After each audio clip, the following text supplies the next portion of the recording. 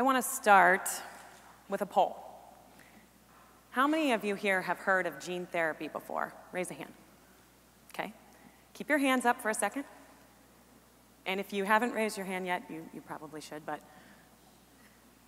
how many of you, with your hands up, have been treated with or know someone else who's been treated with gene therapy? Pretty much every hand just went down. Okay, regardless of how you answered those two questions, I want you to look at this list of diseases on the screen behind me.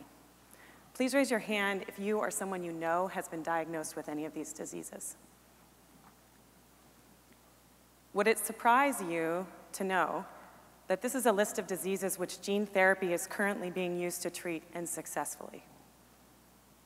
So why don't more people have access to gene therapy? Because it's complicated and expensive. I've been doing gene therapy for nine years in October, and I'm going to tell you two stories. The first patient I ever gave gene therapy to, and another patient who changed my mindset about how we need to be thinking about how to make treatments available to everyone. This is Charlie, the first patient that I gave gene therapy to. In 2009, Charlie was in his early 50s, living with his wife and his daughter in Homer, Alaska, practicing as a psychiatrist, doing what most of us would do on the 4th of July, celebrating with friends and family on a lake. About midway through the day, Charlie came in from a little boat ride, and his wife noticed that his speech was slurring. She thought at first, Have you been drinking? But he hadn't. In fact, it was something more serious than that. A trip to the ER and a head scan showed that Charlie had stage four brain cancer, glioblastoma multiforme. A few months before Charlie's diagnosis in 2009, this disease killed Senator Ted Kennedy. Two weeks ago, Senator John McCain was diagnosed. In fact, about 192,000 people around the world will be diagnosed with this disease in the next year, and 17,000 of them will lose their battle with it. It's a highly aggressive form of cancer. Most patients, including Charlie, only have a 50% chance of surviving one year, and that's with intensive therapy that includes surgery, chemotherapy, radiation, more chemotherapy. Charlie felt like he needed to try something more. And he took the chance on a clinical trial and it happened to be our clinical trial for gene therapy to treat his disease. Now, in 2009, this map is showing you the number of centers around the world who were doing some form of gene therapy. Now, I told you Charlie lived in Alaska, so it may seem like he came to Seattle because it was the closest to him, but in fact, in 2009, we were the only center doing gene therapy for glioblastoma. While each of these centers was capable, they were all studying different diseases, different clinical trials. Why did Charlie even have to come to Seattle? Well, the type of gene therapy we were giving him is called blood cell gene therapy. We have to first bring him into the clinic, take blood cells out of him. Then we have to move those to a clean room facility because all of the manipulation we're going to do is going to happen outside of the body. This is an example of what our clean room facility in Seattle looks like controlled airflow, highly skilled staff, equipment monitoring, regulation of every material and reagent that comes in and out, multi-million dollar infrastructure. Once we have the cells there, maybe we don't want all the blood cells, maybe we only need T cells, or maybe we only need stem cells. So now we need to separate those out. That takes more complex technology and people who know how to use it. After that, we have to get the DNA into those cells that we want to target. This is a snapshot of what part of that process looks like it can take anywhere from two to 14 days, depending on the cell and the type of the DNA that you're trying to get in. You see three people in this photo. One person who's reading directions line by line, one person who's actually performing those instructions one at a time, and a third person who's observing to make sure that they all get done correctly and in the right order. Again, multi-million dollar infrastructure. After all that manipulation, we have to make sure those cells are ready to go back into the patient and that they're safe that we haven't introduced a contaminant, that they're functioning the way that they should be. And then and only then can they go back to the hospital and get infused into the patient. That is, of course, unless your patient shows up wearing a Michigan shirt when he knows that you are a rival Ohio State University fan. so I told him I would only let him take this picture if I could cover it up. Not only did Charlie have to come to Seattle for two weeks to receive this gene therapy, he had to stay for another two weeks to be monitored after that, and then he had to come back to Seattle every three to four weeks for nine months for additional treatment and research. So was all that bang worth its buck? Well, in addition to Charlie, we treated, treated 10 more patients, and we changed the survival from less than 50% at one year to 100% at one year.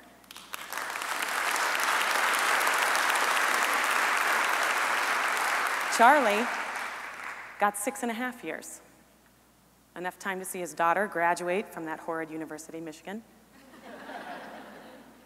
the ability to go back to work full time until his retirement. But he didn't know that in 2009. I didn't know that in 2009. None of us could have predicted that that would be the outcome. So I want to ask you a question. You don't need to raise your hand this time.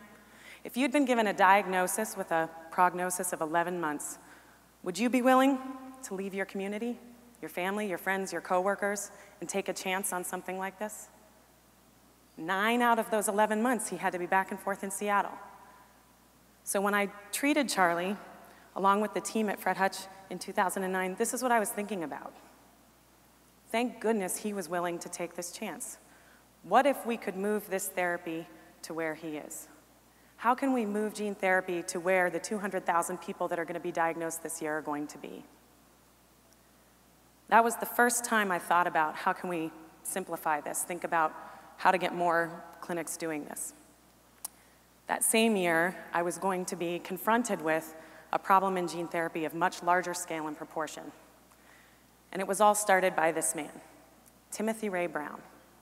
He's also known as the Berlin patient, or the only man on the planet right now who's been cured of an HIV infection for more than 10 years. Now, Timothy didn't get gene therapy. What he got was a blood cell therapy from a person whose DNA made their blood cells resistant to HIV infection. While that was a one in a million treatment for Timothy, it paved the way for gene therapy to become a treatment option for HIV positive persons around the world and affect the same type of outcome. That would mean not having to take antiretroviral drugs every day for the rest of their lives. In 2013, Dr. Hans-Peter Kiem showed here, along with the American Foundation for AIDS Research, the Timothy Ray Brown Foundation, and the National Institute of Health, received a grant along with other colleagues at Fred Hutch as part of a large collaboratory to study how we could make gene therapy to treat HIV a reality. As part of this funding source, we in Seattle get to host an HIV cure meeting once a year. It's actually going to be in the next few weeks.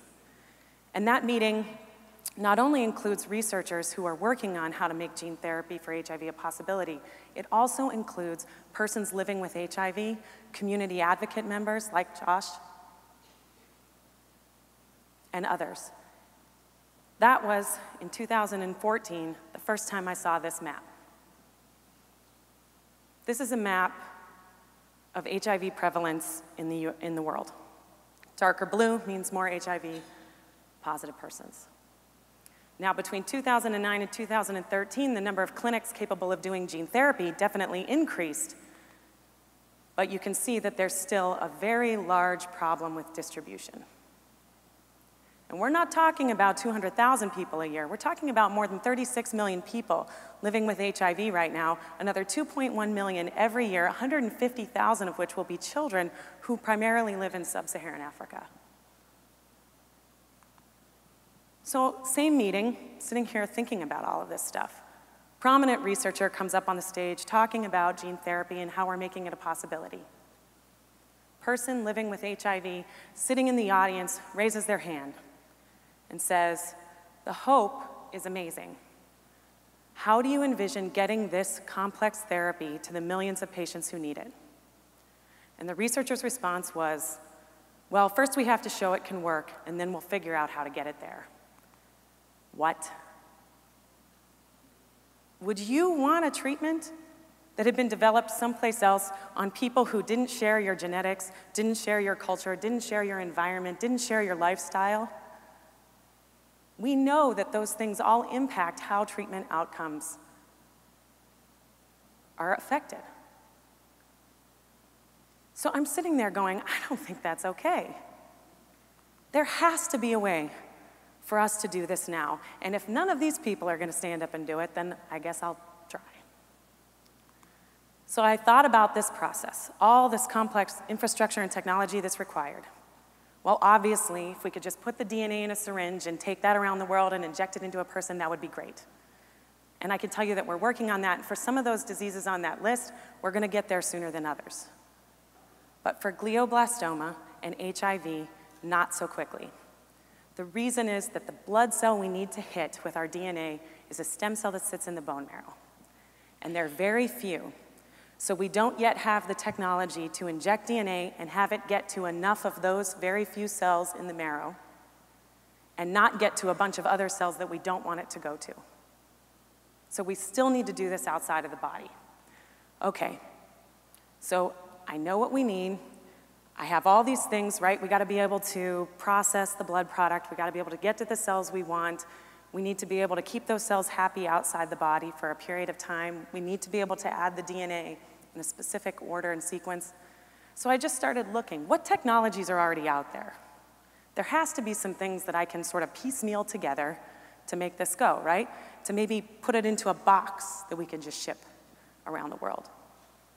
And coincidentally, I found one device.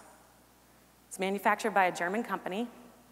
It couldn't do gene therapy, but it had all the components that we needed actually already in one unit. So we bought one.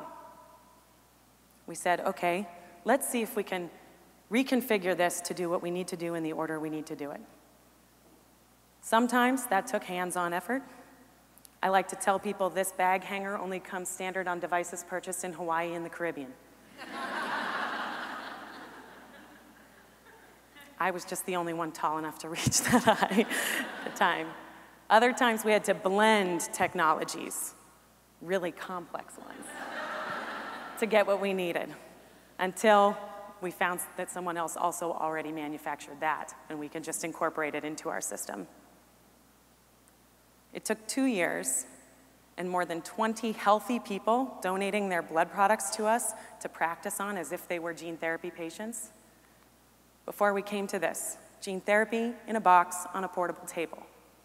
Meets all the same criteria that the multi-million dollar infrastructure clean room meets, can go anywhere, it comes with pre-programmed interfaces. In theory, all the things that you would need to add the DNA, to add the gene, can be things that you could get from a pharmacy provided in a kit. It's a proof of concept. Hasn't left Fred Hutch yet. We're working on that part. Getting the word out there is part of that battle. We think that now there's no excuse why we can't be treating close to 60 million people on the planet, or at least overcoming those last barriers to getting that much gene therapy out into the world. We also think that the more people have access to this type of treatment, the more diseases we're going to discover could be benefited by this treatment approach. That means that we can treat patients like Charlie, patients like Timothy, patients like everyone in this room, wherever they exist in their own communities.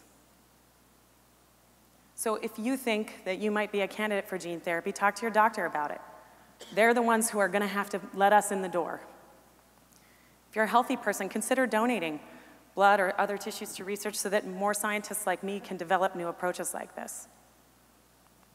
I want to say thank you especially to all of the patients that we've treated in Seattle and around the world with gene therapy because they did take a big risk. They did step outside their communities to make this possible. I thank all of you for your attention.